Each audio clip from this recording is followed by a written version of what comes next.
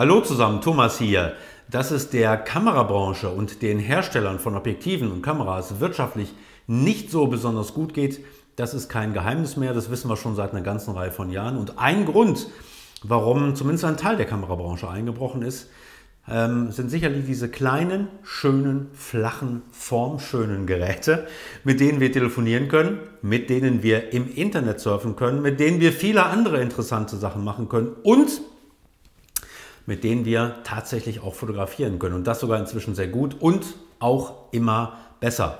Und äh, die Smartphones haben unter anderem dafür gesorgt, dass der Markt für Kompaktkameras vollkommen eingebrochen ist, man könnte sagen, fast zum Erliegen gekommen ist. Und ich habe vor einiger Zeit mal ein Video gemacht, äh, speziell zu der Entwicklung von Nikon und Canon und ich verlinke euch das Video mal hier in der Infocard. Allerdings sind Nikon und Canon erwartungsgemäß nicht die einzigen, die mit wirtschaftlichen Problemen, wenn es um ihre Kamerasparte, in ihr Kamerasegment äh, geht, äh, zu kämpfen haben. Auch Olympus hat seit einer ganzen Reihe von Jahren massive wirtschaftliche Schwierigkeiten. Wie die aussehen und welche Folge das möglicherweise haben kann, das gucken wir uns gleich nach dem Hinweis an, dass dieses Video wird gesponsert von mietdeinobjektiv.de und bei mietdeinobjektiv.de könnt ihr professionelle Kameras, Objektive und das entsprechende Zubehör ganz einfach online mieten. Und mit meinem Rabattcode RAW steht hier unten in der Videobeschreibung und auch blende ich euch direkt hier unten bei mir im Video ein, mit dem Rabattcode Video, nee, nix Video, Raw Akademie, spart ihr dann auch nochmal bei eurer nächsten Miete 10%. Ja, gucken wir uns wirklich in aller Kürze mal nur zwei äh, Grafiken an ähm, aus den jeweiligen Geschäftsberichten von Olympus. Und das eine aus dem laufenden fiskalischen Jahr, das sind die Zahlen, die die gerade letzte Woche, glaube ich, veröffentlicht haben. Und da sehen wir wirklich nur die, nicht die Tabellen, nur links die Grafik, die ich euch jetzt gerade auch eingeblendet habe, hier zumindest diese ganze Seite. Da sehen wir auf der linken Seite einen Vergleich der Zeiträume April, September 2018 und April, September 2019. Und wir sehen zum einen, dass der Umsatz, also diese blauen Balken, Revenue, dass der Umsatz deutlich zurückgegangen ist und dass der operative Profit, Operating Profit, also diese gelblich-bräunlichen Balken, dass die sogar im Negativen sind. Das heißt, ganz einfach gesprochen, Olympus legt bei seinem Kamerasegment, bei seiner Kamerasparte schlicht und ergreifend drauf. Die müssen also Geld aus anderen Geschäftsbereichen nehmen, um das quer zu finanzieren.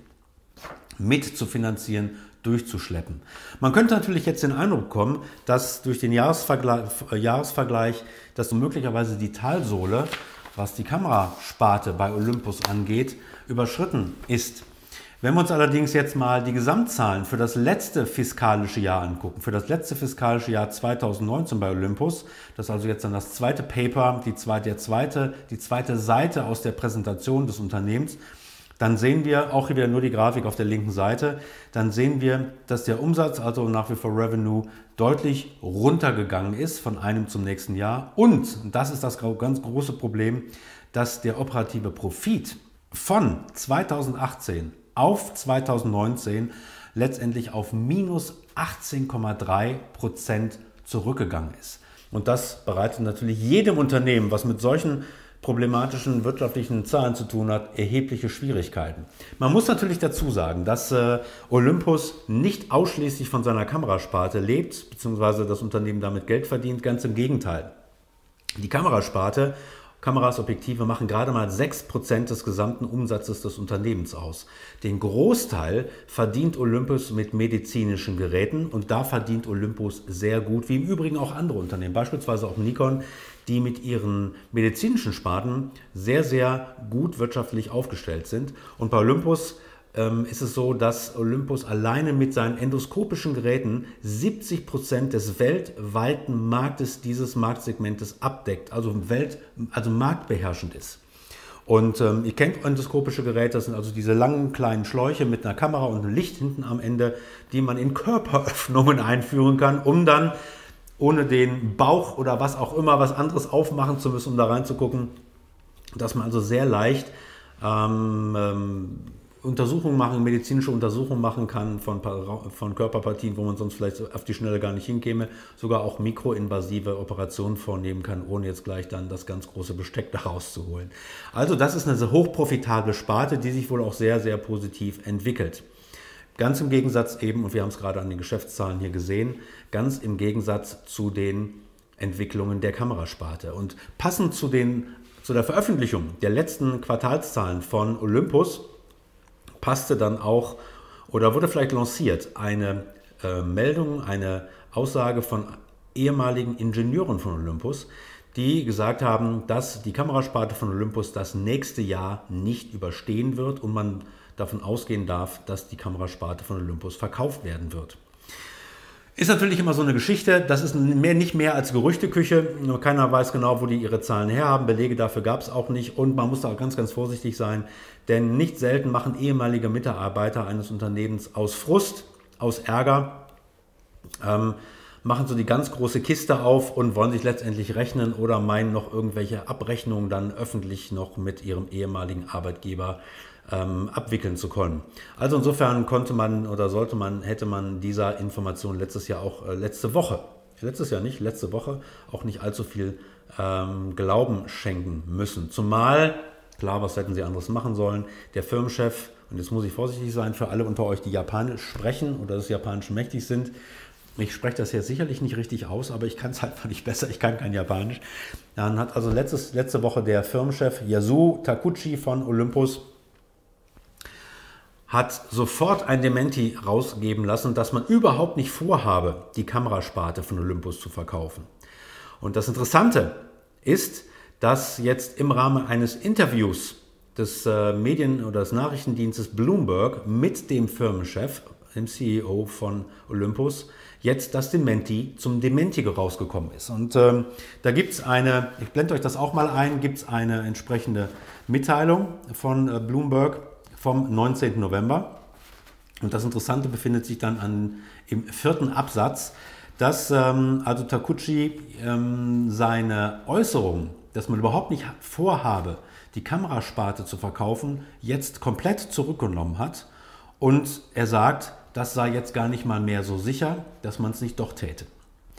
Und ähm, weist auch darauf hin, mit welchem geringen Anteil letztendlich dann die Kamerasparte an dem Gesamtunternehmen hat und ein und dass, dass, wahrscheinlich das Ganze auch überhaupt nicht mehr in den Gesamtplan passt. Denn ähm, in einem, im nächsten Absatz äh, steht dann auch die Information, welche ambitionierten Ziele man bei Olympus habe und dass man bis 2023 vorhabe, die operative Marge von aktuell 11 auf 20 Prozent erhöhen zu wollen. Und das ist natürlich wirklich eine Ansage.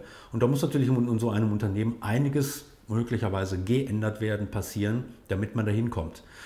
Und ein weiterer Grund, der damit zu tun hat, ähm, ist sicherlich, dass sich vor einiger Zeit der US-amerikanische Hedgefonds Value Act Capital Management in das Unternehmen eingekauft hat. Zwar haben die in Anführungsstrichen nur 5% am Gesamtunternehmen, aber Sie haben es wohl geschafft, zwei ihrer Mitarbeiter im Aufsichtsrat zu platzieren. Und wir, geben, wir können mal davon ausgehen, dass die da ordentlich Druck machen, denn was äh, so ein Hedgefonds, so ein Investmentfonds, was hat der für eine Aufgabe? Der ist seinen Aktionären und seinen Investoren verpflichtet und die wollen möglichst schnell, möglichst viel Geld sehen, das heißt in Form von Gewinnen, in Form von Gewinnausschüttungen.